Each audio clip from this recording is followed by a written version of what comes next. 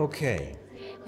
What- kuule nüüd selline lugu on, et need probleemid on väga paljudel, There are a lot of people who have these väga paljudel.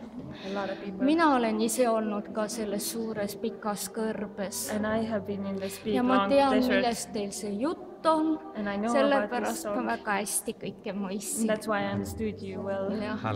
jah, aga paljudel on just noh, nad ei- veel ei ole sinna jõudnud ja nad ei oska sealt A lot of, läbi minna a. lot of people hasn't got to that point. They don't know how to go through that. And on probleeme palju, there's a lot of problems. just need enesetapumõtted just this uh, suicidal thinking. Mhm. And jah, väga kurvad it's very sad. So this is a powerful message, isn't it? et see on nagu võimas sõnum, onju. Jah Jaa,, nii jah. et Jumal õnnistagu ja muudkui käi. Jutusta ja räägi see tuleb It's õnnistuseks. very big blessing. Yeah. jah, kõike, kõike ja. Okay. good. Thank you. God ja bless you.